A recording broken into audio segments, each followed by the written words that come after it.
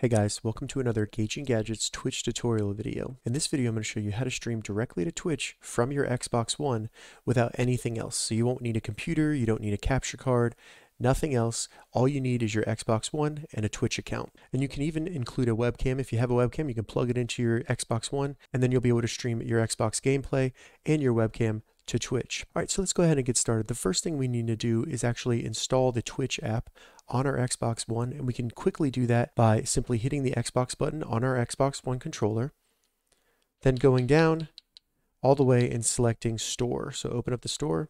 From here, all we need to do is search Twitch. Go ahead and open it up, and then get it installed. All right, once you have the Twitch app installed, go ahead and open it up. And then at the top, what we need to do is go to sign in and sign into our Twitch account. So just select that. Now we just need to go to twitch.tv slash activate on our phone or computer, something like that, and then enter that code. You can even go in the browser on your Xbox One if you don't have a phone. Once you've signed in, you'll see your profile picture show up in the top right of the Twitch app on your Xbox One. And from here, to start live streaming to Twitch, all we need to do is in the top menu, go to broadcast, and then we just need to go through some of the settings here to get everything set up. So let's go through everything here so that you have an understanding of how to set it up and what it's for. So starting in the bottom left, the first option is going to be the title of your stream. All you need to do is select that. You can type whatever title you want. I just have test stream there for this usage. As you can see under that, it says your game will appear here. So you don't have the ability to choose what game you're playing. Twitch will detect what game you're playing on your Xbox and show that on your stream. After that, you can select the language for your stream. Now moving over to the right, this is where we get into the settings for our actual stream. First, we have destination, and this should be just left to Twitch unless you are using Lightstream and have a subscription service for that. If you're not sure what that is, check the description. I will have some links down there so you can check that out, but it does cost money. Right under that, you can choose your camera position. If you are using a USB webcam connected to your Xbox One, you can move it either into the bottom left, the right, top right, anything like that. After camera, we can choose the position of our broadcast bar. Now, the broadcast bar cannot be turned off and it's not shown on your actual live stream. It's just for you to see so you can monitor the status of your stream, such as if you're actually streaming or how many people are viewing your stream and if your microphone microphone is muted or not. So it's pretty important and you can just decide where you want that to be on your stream so it doesn't get in the way of anything important in your game. So I'll go ahead and select top right.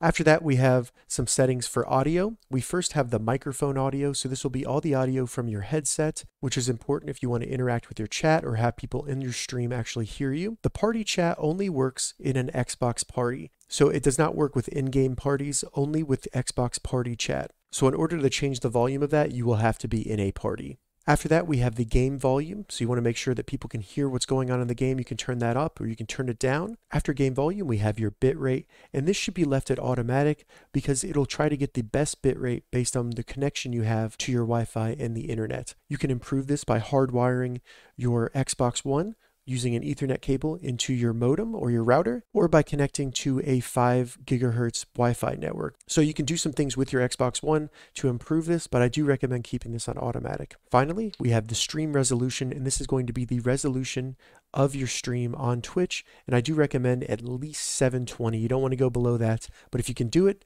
go to 1080p because that's just going to attract more viewers and your stream will look more professional. All right, so now that we have our stream resolution set up, we are ready to start streaming. Now, before we go down in the bottom left and select start streaming right here, what I recommend doing is going ahead and starting the game that you want to play. Because as soon as you hit start streaming, it's going to push that and start streaming on Twitch. And you don't want your viewers to see anything except for your game. So what I recommend doing is just hitting the Xbox button on your controller, going ahead and starting a game, and then you can go back to the Twitch app and select Start Streaming. So as you can see here now in the top right, we have our broadcast bar showing up. It shows that my mic is not connected. I don't have a webcam connected. I have zero viewers, and it also shows me how long I've been streaming. Now when I go to twitch.tv and try to view my stream, you can see that it's not actually showing my stream. That is because I am not in a game. So when I go back to my Xbox, what I need to do here is go ahead and open up my game and I can start playing. And as soon as I do that, when I go back to Twitch, you'll see the game start showing on my stream. And whenever I play, my viewers can watch that. So that's something to keep in mind. Unless you're in a game, your Xbox will not stream to Twitch. So if you're in your home screen or maybe you're in the settings, it's just going to show that generic image. So now once you've completed streaming and you want to end your stream on Twitch, all we need to do is hit the Xbox button on our controller again, go down to Twitch, and select stop stream. This will end it on Twitch. And as you can see, I am no longer online. All right, so that's how you live stream directly to Twitch from your Xbox One. If you have any questions about this, leave a comment below. I'll get back to you as soon as I can. If you'd like to see more Twitch or Xbox One tutorials, check the links in the description. If this video helped you, give it a thumbs up and please consider subscribing to my channel, Gauging Gadgets, for more gadget reviews and tech tutorials. Thank you so much for watching.